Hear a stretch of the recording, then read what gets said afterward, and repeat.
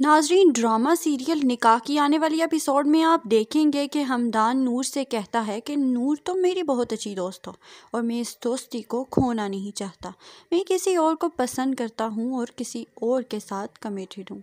ये बात सुनकर नूर परेशान हो जाती है। दूसरी तरफ़ हारिस बार बार अनुषा का पीछा करता है और उससे माफिया माँगता है। लेकिन अनुषा हमदान को वहीं देख लेती है और बगैर कुछ सोचे समझे उसके जहन में यही ख्याल आता है कि हारिस से पीछा छुड़ाने का सिर्फ़ यही मौका है। वो सिर्फ़ ऐसे ही पीछा छुड़ा सकती है। वो हमदान से कहती है कि बताएँ इनको कि हमारी मंगनी हो चुकी है और बहुत जल्द शादी भी होने वाली है। ये सुनकर हारिस को बहुत ज़्यादा दुख होता है। और हमदान अनुषा का हाथ पकड़ के उसे वहाँ से ले आता है।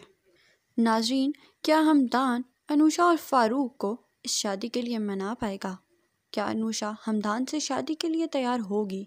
और क्या फारूक अपनी ज़िद छोड़कर हमदान की बात मानेगा या नहीं? अपनी कीमती राय हमें कमेंट सेक्शन में ज़रूर दीजिएगा। हमारे चैनल को सब्सक्राइब करें और हमारी वीडियो पसंद आई हो तो इसे लाइक करना ना भूलिएगा।